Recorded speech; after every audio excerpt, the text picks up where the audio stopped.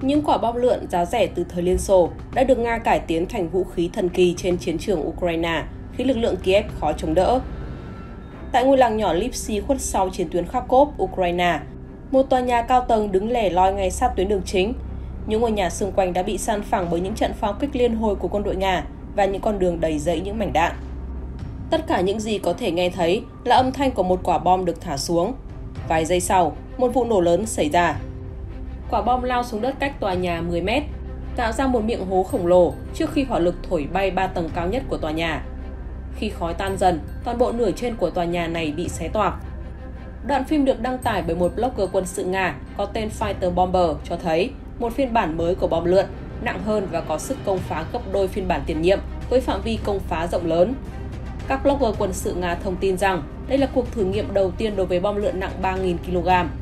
hay còn gọi là FAB 3000, một loại bom được cải tiến từ hai phiên bản FAB 500 và FAB 1500 từ thời Liên Xô, có thể chứa tới gần 1 tấn rưỡi thuốc nổ. Phiên bản bom lượn mới nhất FAB 3000 xuất hiện vào đầu năm nay đã được trang bị thêm cánh cố định và hệ thống GPS giúp mở rộng tầm bắn vượt ra khỏi tầm bắn của hệ thống phòng không Ukraine, giúp nhắm trúng mục tiêu từ khoảng cách xa hơn.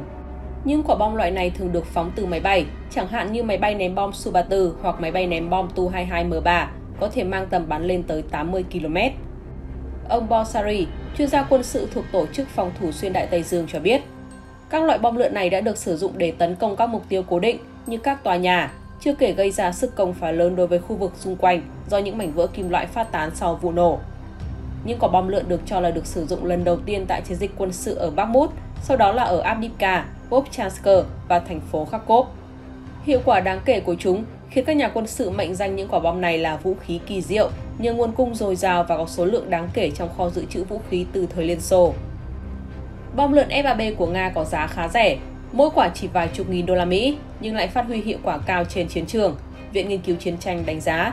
việc các lực lượng Nga đã tìm ra cách phóng F-3B 3000 là một bước tiến lớn. Điều này sẽ làm tăng cường khả năng tấn công của Nga trên chiến trường và cho phép quân đội nước này tiết kiệm một lượng lớn các loại vũ khí khác.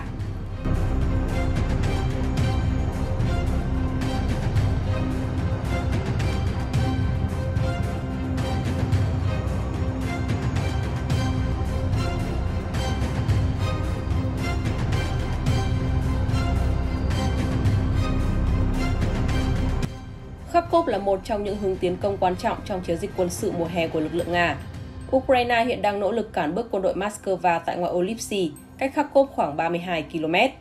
Tuy nhiên, các nhà phân tích cho rằng sự xuất hiện của bom lượn trên chiến trường sẽ ngăn Ukraine đạt được mục đích, bởi bom lượn nổi tiếng là khó bắn hạ, đặc biệt là phiên bản FAB 3000. Cách hiệu quả nhất để ngăn chặn bom lượn là tiêu diệt các máy bay chiến đấu có khả năng triển khai chúng trên chiến trường, bao gồm các máy bay xuất hiện tại không phận Nga hay các máy bay đóng quân tại căn cứ quân sự của Nga. Khả năng của Ukraine trong việc chống lại mối đe dọa từ bom lượn đã bị cản trở nghiêm trọng do thiếu máy bay chiến đấu, tên lửa tầm xa và chính sách hạn chế của phương Tây ngăn cản lực lượng Ukraine sử dụng vũ khí viện trợ để tấn công bên trong lãnh thổ Nga. Tuy nhiên, ngày 30 tháng 5, Tổng thống Mỹ Joe Biden đã đảo ngược quy định này, mở rộng phạm vi tấn công của các cuộc tấn công vượt khỏi biên giới Ukraine nhằm mục đích phản công ở khu vực Kharkov Đến ngày 21 tháng 6, Nhà Trắng lại tiếp tục đồng ý cho Ukraine được phép sử dụng tên lửa tầm xa do Mỹ cung cấp nhằm tấn công các mục tiêu bên trong Nga, không chỉ giới hạn tại khu tiền tuyến gần Kharkov trong trường hợp Kiev hành động để tự vệ. Điều này đã mở ra một lối thoát cho Ukraine chống lại các đợt tấn công bằng bom lượn. Cố vấn an ninh quốc gia Mỹ Jake Sullivan nói, nếu Nga tấn công hoặc chuẩn bị tấn công Ukraine từ lãnh thổ của họ, cho phép Kiev tập kích nhằm vào lực lượng của Moscow ở bên kia biên giới là hợp lý Ông thậm chí còn đề cập khả năng Kiev dùng hệ thống phòng không nhằm bắn phi cơ của Nga nếu nó chuẩn bị khai hỏa sang Ukraine. Bên cạnh đó, các nhà lãnh đạo Ukraine và giới phân tích cũng cho rằng các hệ thống phòng không và máy bay chiến đấu F-16 do Mỹ sản xuất rất quan trọng trong cuộc chiến chống lại mối đe dọa từ bom lượn. Ông Mikhailo Bolodyak, trợ lý của Tổng thống Volodymyr Zelensky cho biết vào tháng trước. Trước bom lượn, ngay cả hệ thống phòng không hiện tại cũng không hữu dụng. Chỉ có F-16 mới có thể ngăn chặn loại vũ khí này, lô F-16 đầu tiên trong số khoảng 80 chiếc nằm trong gói viện trợ của một số nước châu Âu, dự kiến sẽ đến Ukraine vào mùa hè này, cho phép Kiev đối đầu với các máy bay chiến đấu của Nga khi ở trên không. Washington cũng khẳng định chính quyền nước này đang gấp rút chuyển giao tên lửa đánh chặn phòng không cho Ukraine bằng cách tạm dừng giao hàng cho các quốc gia đồng minh. dù không tiết lộ sẽ gửi bao nhiêu tên lửa đánh chặn, nhưng một quan chức cấp cao của Nhà Trắng cho biết Ukraine sẽ được ưu tiên trong 16 tháng tới và tên lửa sẽ được chuyển đến Kiev khi ra khỏi dây chuyền lắp ráp. Ukraine sẽ nhận được các tên lửa đánh chặn cho cả tổ hợp phòng không Patriot và NASAM. Tuy nhiên, ông Baros, trưởng nhóm nghiên cứu Nga thuộc nhóm tình báo không gian địa lý tại Viện Nghiên cứu Chiến tranh cho biết, chính sách trước đây của Mỹ tạo nên nhược điểm cho Ukraine nhờ việc vẽ đường cho Nga thực hiện các cuộc tấn công bằng loại vũ khí tầm xa khác mà không cần thiết lập căn cứ ở Ukraine. Không có hệ thống phòng không nào có thể bảo vệ thành phố Kharkov khỏi mối đe dọa bom lượn từ Nga, chừng nào Moscow có thể tiếp tục sử dụng không phận Nga làm nơi trú ẩn và không gian an toàn, ông Baros nói.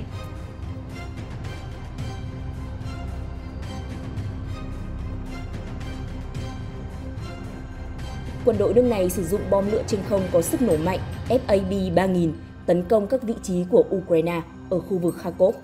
Theo Top War, đoạn video được cho là minh chứng đầu tiên của việc Nga sử dụng bom lượn nặng 3 tấn tích hợp mô đun UNBC. Đoạn video được quay lại bằng máy bay trinh sát không người lái cho thấy quả bom đã tấn công vào tòa nhà 3 tầng Listy, vùng Kharkov, nơi binh sĩ Ukraine sử dụng làm điểm triển khai tạm thời. Theo báo cáo, bán kính phá hủy của FAB 3000 lên đến 200m, các mảnh vỡ có thể tấn công ở phạm vi hơn 1.200m. Do vụ nổ, tòa nhà đã bị thiệt hại đáng kể, một số tòa nhà xung quanh cũng bị tác động. Được biết, vào tháng 5, truyền thông Nga đưa tin quá trình phát triển mô đun cánh trượt có điều khiển UNBC FAB 3000 đang ở giai đoạn cuối và dự kiến được triển khai trên thực địa trong vòng vài tuần nữa. Tổng thống Nga Putin cho biết Moscow coi kho vũ khí là một hình thức gian đe chiến lược quan trọng nhằm duy trì cán cân quyền lực toàn cầu. Nga sẽ nâng cấp kho vũ khí hạt nhân vì đây là sự bảo đảm cho an ninh quốc gia. Tổng thống Nga Putin tiết lộ hôm 21 tháng 6. Bình luận này được đưa ra trong bối cảnh căng thẳng ngày càng gia tăng giữa Moscow và phương Tây về cuộc xung đột ở Ukraine. Mỹ và các đồng minh tiếp tục trang bị vũ khí cho Kiev trong khi tuyên bố không tham gia vào cuộc xung đột. Theo đó, ông Putin cảnh báo rằng Nga sẽ sử dụng mọi phương tiện có sẵn để tự vệ nếu bị đe dọa. Điện Kremlin vào tháng trước đã ra lệnh cho quân đội tiến hành các cuộc tập trận triển khai vũ khí hạt nhân phi chiến lược. Chúng tôi có kế hoạch phát triển bộ ba hạt nhân hơn nữa như một sự bảo đảm cho khả năng gian đe chiến lược và duy trì cán cân quyền lực trên thế giới, ông Putin nói hôm 21 tháng 6. Bộ ba hạt nhân đề cập đến sự kết hợp giữa tên lửa đạn đạo liên lục địa trên đất liền, tên lửa đạn đạo phóng từ tàu ngầm và máy bay ném bom chiến lược. Tất cả đều có thể mang đầu đạn hạt nhân. Những hệ thống vũ khí này đảm bảo rằng các đối thủ không thể tiêu diệt lực lượng hạt nhân của một quốc gia chỉ trong một cuộc tấn công đầu tiên. Tổng thống Nga Putin đã nhiều lần nói rằng bất kỳ cuộc xung đột nào liên quan đến việc sử dụng vũ khí hạt nhân sẽ gây ra hậu quả thảm khốc cho nhân loại. Vào đầu tháng 6, ông khẳng định Nga không giải vũ khí hạt nhân và bày tỏ hy vọng rằng một cuộc tấn công hạt nhân giữa Moscow và phương Tây sẽ không bao giờ xảy ra. Vào thời điểm đó, ông Putin lưu ý rằng học thuyết hạt nhân của Nga quy định những vũ khí như vậy chỉ có thể được sử dụng khi họ đối mặt với mối đe dọa đối với chủ quyền và toàn vẹn lãnh thổ. Nhưng Moscow đang xem xét sửa đổi điều này.